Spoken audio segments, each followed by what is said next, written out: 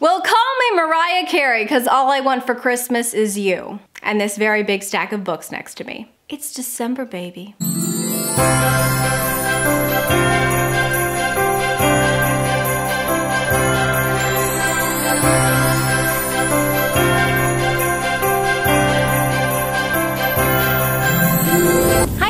My name is Lexi and today I will be sharing with you my quite ambitious, very Christmassy winter TBR. So as can see from all of the decorations, I get pretty damn excited for Christmas, okay? And because of that reason, I have too many books to share with you today. It's kind of the same thing that happens every Halloween season. In Halloween, anything that has like a spooky vibe, I immediately want. And with Christmas and with December, anything that has like snow on the cover, I really, really want. So is this stack probably going to fully happen? No. So I'm seeing it more as like a mood reader stack and I will just read whatever I feel like reading in the month of December, if that makes sense, but I'm gonna be sharing with you all of the titles today. Also, I'm in the best mood ever because look at this cute little mug. It's literally of the Nutcracker. Wow, my camera hates this mug, okay. But anyways, uh, let's go ahead and delve right into all the books. The first book is a continuation from last month, and I'm gonna be honest with you, I actually thought I was gonna be a lot further along than I am.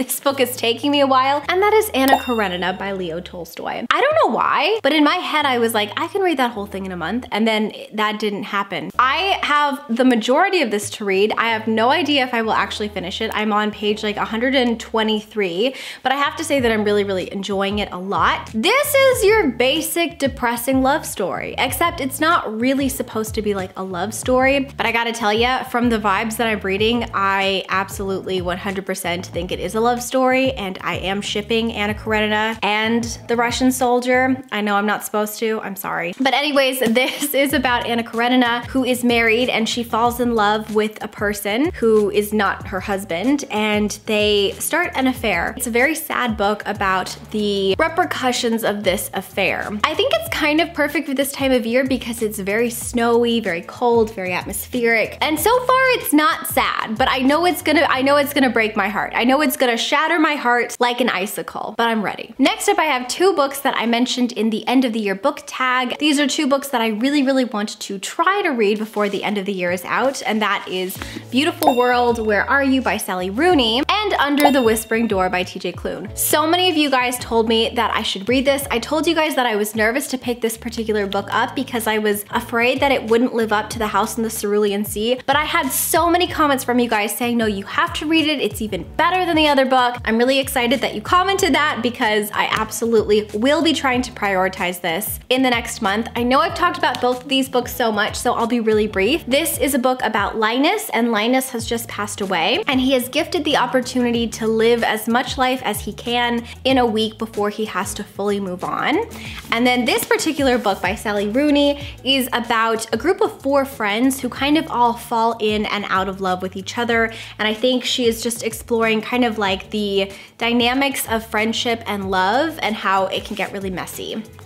Those are those books. Next up, I am doing two different buddy reads. The first one is going to be with my two friends, Ali and Kalyn. I can link their channels down below. And we are going to be reading One by One by Ruth Ware. I anything about this. It's a thriller, and I think it's like with office people. So like picture the office, okay? Picture Michael Scott, except instead of like harmless pranks, there's murder. So there's, I mean, it sounds like a good time, you know? I'm excited to read that though with my friends. I think we're planning on doing kind of like a holiday FaceTime and then we're gonna talk about that book too, so it'll be really fun. And then the next buddy read I'm doing is with my friend Amiee and we are continuing on in Keeper of the Lost Cities with book number two. This is a total reread for her, but this is the first time that I'm really delving into this world and you guys, I'm obsessed with this. Like I am so madly in love with this series. Like I cannot even tell you. I read the first book, not expecting to just go so hard for it. Oh God, I dropped the book. But I could not put it down. I gave it five out of five stars. And so we're just gonna continue on with the series. So I'm continuing on with the second book.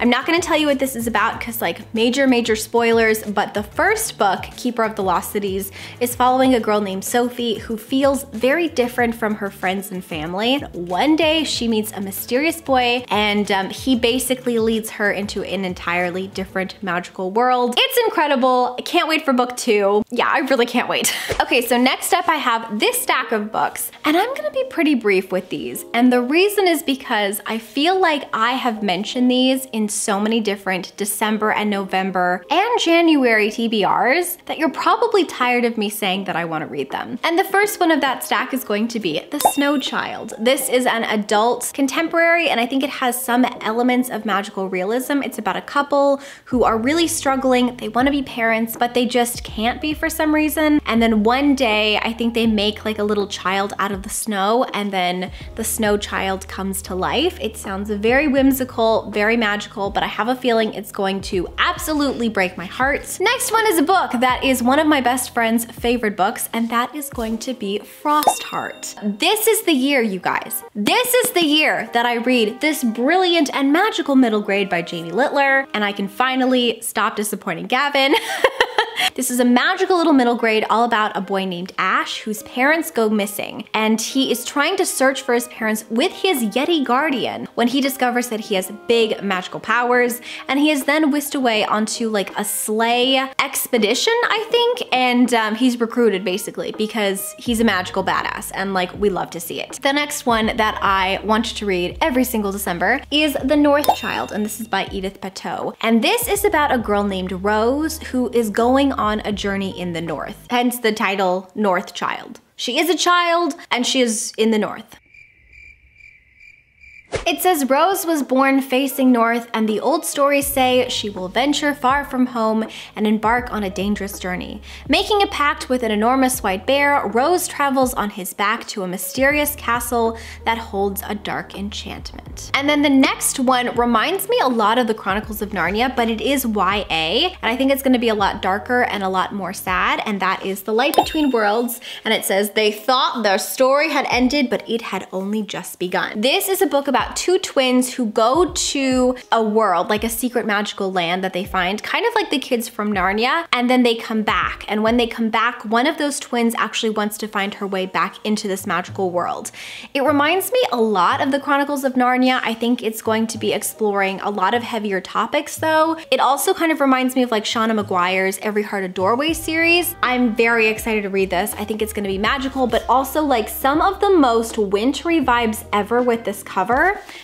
and like I am living for it, you know? And then finally, we have our very last stack. The first one is a middle grade and that is the Vanderbeekers of 141st Street and this is by Karina Yan Glaser and this is a middle grade and I believe that this is a contemporary middle grade. I had to pick this up because I learned that this all takes place around Christmas Eve and I am just such a sucker for books that are set around Christmas time. I feel like it's so magical and cozy to read about Christmas through the eyes of characters around Christmas time. So I had to pick it up and I am definitely planning on prioritizing this. But this is following a family who lives in Manhattan, New York, I believe, and their landlord is kicking them out. And now all of the children of this family have to band together to try to convince the landlord that they deserve to stay in their apartment. I think it is going to be really heartfelt and super, super cozy, but also like I'm living for the cover, I'm living for the aesthetics, Christmas in New York. I think is gonna be wonderful and I can't wait to read it. Next up, I actually think this book was also on my last December TBR um, and that is going to be A Castle in the Clouds and this is by Kerstin Gier. This is a book about a girl named Sophie and Sophie is the hotel babysitter. Right around Christmas,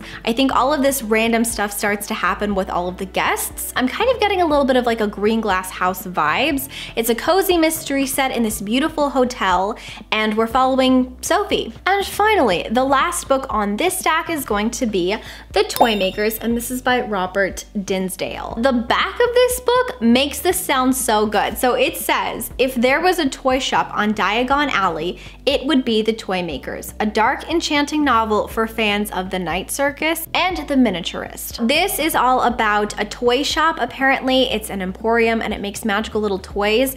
I think there are some elements of actual magic in this, but I'm not really sure. And we're we're just following what goes on in this emporium. I think it's gonna be really wonderful. This is an adult. I think possibly fantasy, but I can't figure out if it's fantasy or if it just has some like whimsical elements to it. But I am so excited. I'm getting so many Christmas vibes. I'm getting so many North Pole vibes. And I think it's gonna be really, really fun to delve into this next.